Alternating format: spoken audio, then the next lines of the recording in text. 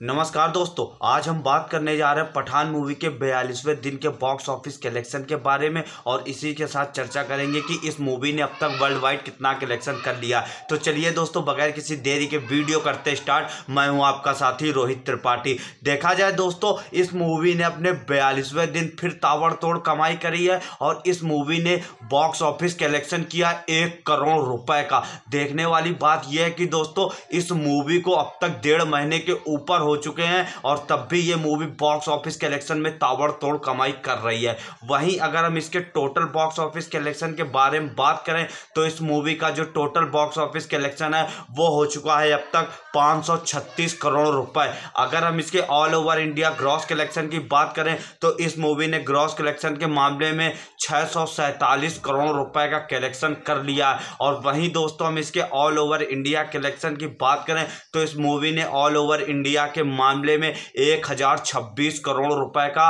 World wide collection कर लिया है। देखा जाए दोस्तों, शाहरुख खान की मूवी पठान के सामने जितनी भी मूवी उतरी हैं, सारी की सारी मूवी फ्लॉप हो गई है। हालाँकि अब इस इस दिन रिलीज़ हुई है। आज के दिन तू झूठी, मैं मक्कार, रणवीर कपूर की मूवी अब देखने वाला ये होगा। क्या ये मूवी पठान को टक्कर दे पाएगी कि नहीं? और क्या ये मूवी बॉक्स ऑफ़िस कलेक्शन में हिट हो पाएगी कि नहीं? क्योंकि देखा जाए, बॉलीवुड की जितनी भी मूवी रिलीज़ हुई हैं, अगर हम पठान को छोड़ दें तो कोई भी मूवी बॉक्स ऑफ़िस कलेक्शन में कुछ कमाल नहीं कर पाई है। अब देखने वाली बात यह होगी, क्या रणवीर कपूर अपनी एक्टिंग के दम पे ये सूखा बॉलीवुड का तोड़ पाएँगे कि नहीं? आपको क्या लगता है? कमेंट में हमें ज़रूर बताएँ। हम आपके लिए ऐसी वीडियो बनाते रहेंगे। मिलते हैं अगली वीडियो में। तब तक के लिए नमस्कार।